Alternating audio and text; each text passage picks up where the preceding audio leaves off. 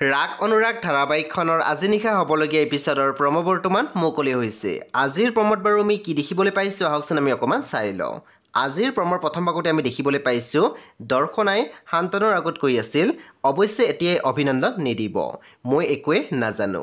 তেতিয়া আমি দেখিবলৈ পাইছোঁ শান্তনুৱে মাত দিছিল কাম জানিব নালাগে নহয় মাত্ৰ কাম কৰাৰ মানসিকতা এটা লাগে। তাৰপিছত আমি প্ৰমত দেখিবলৈ পাইছোঁ নয়নাই ৰূপমৰ মাকৰ আগত কৈ আছিল যিদিনা এইখন ঘৰৰ লগত সম্পৰ্ক কৰিলোঁ সেইদিনাই মোৰ ভাগ্য দুৰ্ভাগ্যলৈ ৰূপান্তৰিত হ'ল। তাৰপিছত আমি প্ৰমত দেখিবলৈ পাইছোঁ শান্তনুৱে স্মিতাৰ আগত কৈ আছিল এতিয়া চিন্তা কৰা নুপুৰক ভাল মানুহ হিচাপে কেনেকৈ গঢ় দিব পাৰি? টকা পইচা সম্পত্তি এইবোৰে ভৱিষ্যত গঢ় নিদিয়ে। চ' বন্ধু বান্ধৱীসকল আজি নিশা ন বজাত ৰং টিভিত আহিবলগীয়া ৰাগ অনুৰাগ ধাৰাবাহিকখন খুবেই বেছি ইণ্টাৰেষ্টিং হ'বলৈ গৈ আছে চ' আপোনালোকে চাবলৈ একেবাৰে নাপাহৰিব।